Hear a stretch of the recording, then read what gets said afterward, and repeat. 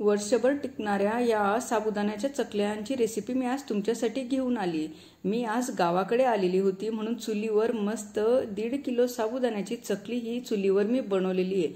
म्हणून व्हिडिओ नक्की बघा स्किप करू नका. चला मग आज मस्त उपवासासाठी कुरकुरीत अशी ही साबुदाण्याची चकली मी चुलीवर कशी बनवली ते सांगते तुम्हाला. मी इथं बटाटा घेतलाय. हा दीड किलो साबुदाणा घेतला. ज्या पद्धतीने आपण साबुदाणा खिचडीसाठी साबुदाणा भिजवतो तसा हा दीड किलो साबुदाणा मस्त भिजवून घेतलाय. आणि त्यासाठी मी इथं तीन किलो बटाटा छान असा उकळून घेतला आणि मॅश करून घेतलाय. याला मस्त इथं मॅश केलाय म्हणजे हाताने आपल्या मॅशरने पावभाजीच्या मॅशरने मॅश करायचं आपल्याला बटाटा आणि साबुदाणा पण छान असा भिजून तयारी दोघं हे माप दीड किलो साबुदाणा आणि तीन किलो बटाटे आपल्याला घ्यायचे मस्त इथं पातेल्यात मी एक ते दोन ग्लास पाणी टाकून घेतलेलं आहे आणि मस्त याला उकळी येऊ दिली. म्हणजे एक ते दोन ग्लास पाणी टाकल्यानंतर आपल्याला हा साबुदाणा यामध्ये टाकून घ्यायचा आहे. हे बघा भिजवलेला साबुदाणा. खालून मस्त चुलीचा जाळ चालू आहे आणि पूर्ण हा साबुदाणा मी टाकलाय. टाकताना लक्षात ठेवा. आधी साबुदाणा आपल्याला टाकायचा आहे त्यानंतर हे उकडलेले बटाटे असे मॅश केलेले आपल्याला इथं टाकायचं आहे. आणि एका अशा मोठ्या घोट्याने आपल्याला असं घोटायचं आहे. मस्त एक सारखं हे शिजवायचं आहे.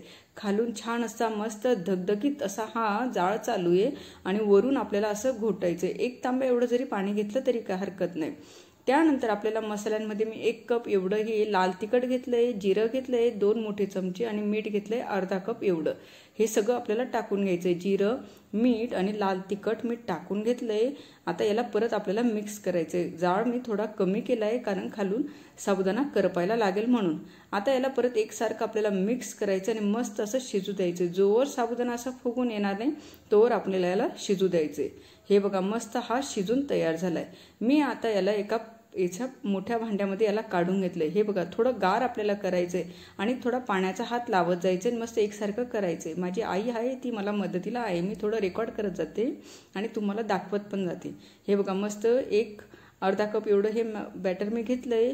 आईने आणि असं हातान पाण्याला हात लावते आणि एकसारखं याला करून घेते. म्हणजे याला वरती जी थोडी अशी कडकपणा आला असेल तो छान असा मिक्स होऊन जातो. नंतर आपल्याला असं साच्यामध्ये याला टाकून घ्यायचं आहे चकलीच्या साच्यामध्ये. आणि आता आपण इथं मी खाटीवर मस्त कागद टाकून घेतला आणि कागदावर आपल्याला ही चकली अशी काढायची. कधी पण पॉलिथिन बॅगची जी असते त्याच्यावर आपल्याला ही चकली अशी घालून घ्यायची. हे बघा अशा पद्धतीने एका वेळेस पाच ते सहा चकल्या मस्त गोल गोल मिडियम अशा ह्या बनवून तयार होतात. मी सगळ्या ह्या चकल्या बनवून घेते. हे बघा सगळ्या चकल्या मी सकाळी बनवून घेतल्या होत्या. दिवसभर उन्हामध्ये अशाच्या अशा राहू दिल्या.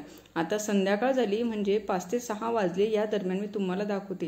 हे बघा किती मस्त ह्या पटापट ह्या कागदावरून निघताय. कधी पण चकल्या घालताना कागदावर घालायच्या म्हणजे पॉलिथिन बॅगवर म्हणजे पटकन निघतात कापडावर जर घातल्या तर चिपकून जातात.